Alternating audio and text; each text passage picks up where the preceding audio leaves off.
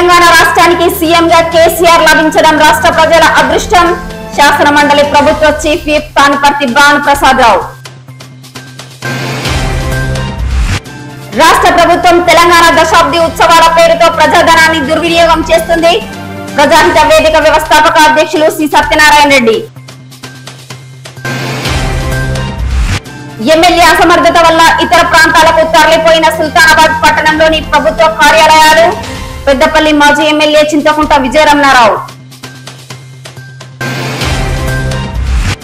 BJP ఆట మొదలైంది. పెద్దపల్లిలో జెండా ఎగరవేస్తాం. రాష్ట్ర ప్రధాన కార్యదర్శి దుగ్గ్యల ప్రదీప్ కుమార్. గురువారం గుండమ్మ చెరువు కట్టపై చెరువుల పండుగ. ప్రజలు అధిక సంఖ్యలో పాల్గొనాలని చైర్పర్సన్ మమతారెడ్డి విజ్ఞప్తి. వడ్కాపూర్ బీరన్న గుడిలో జడ్పీటీసీ బొద్దుల లక్ష్మణ్ ప్రత్యేక పూజలు. పెద్దపల్లి పెద్దమ్మ నగర్లో పర్యటించిన దాసరి ఉష మిషన్ భగీరథ నల్లాలకే పరిమితమైందని విమర్శ.